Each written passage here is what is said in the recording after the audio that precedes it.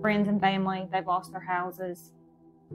And you always see this on the news. You see people talking about it, and it looks terrible on the TV screen, but I've never personally witnessed anything like this. And to wake up and every morning I'm like, when am I going to wake up from this nightmare? When am I going to wake up from this nightmare? And it continues every day. And we keep fighting for our business to come back open, but it's a struggle to say the least.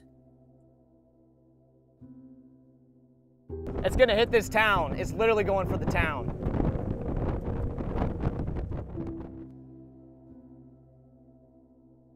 just never seen a tornado that just looked evil before, and that one looked evil. Rolling Fork is a, a small rural town in Sharkey County, Mississippi.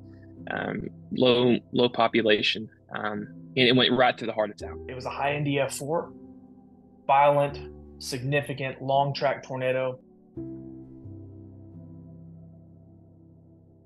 My brother called me and said, uh, the tornado hit Rolling Fork. I said, I heard it's coming, but he said, no, your building is gone. As I took about three steps out of the carport, the wind just picked up to, I don't know how fast, but debris started to just hit.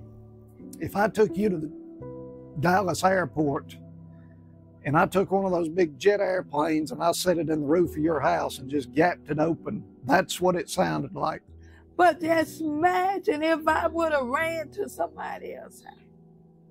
The Lord kept me here. And I said, Lacey, I said, you're being dramatic. I'll call you back. And she yelled at me and said, Tanya, get under the stairs now. A tornado might have hit the ground and take caution, take caution. So I called my friend and I said, you need to take cover. You've got to get under your stairs. David Hartman was yelling, if you live in Rolling Fork, take cover now. Sharkey, Humphreys, Carroll, Monroe, and Morgan. Four counties located in Mississippi and one county in Alabama. All of these counties contain families that have lost loved ones on March 24, 2023, to a destructive tornado.